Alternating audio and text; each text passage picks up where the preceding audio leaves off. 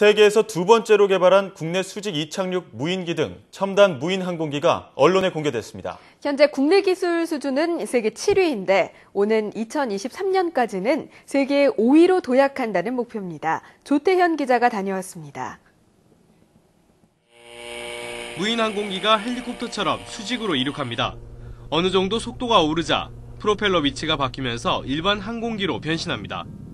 우리나라가 미국에 이어 세계에서 두 번째로 개발한 고속 수직 이착륙 무인기입니다. 이 항공기는 기존 고정익 항공기와 헬리콥터의 장점을 모두 가지고 있습니다. 더 높은 곳을 더 빨리 날 수 있어서 넓은 범위의 감시가 가능합니다. 또 다른 항공기의 날개에는 태양 전지가 장착되어 있습니다.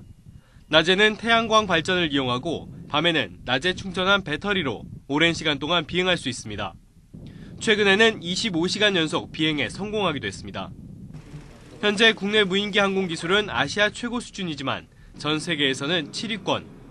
2023년이 되는 해에 저희들이 세계 5위권에 진입을 하고 더 나아가서 2027년 정도가 되면 저희들이 세계 명실공히 3위권 혹은 4위권에 진입할 수 있도록 노력을 하겠습니다.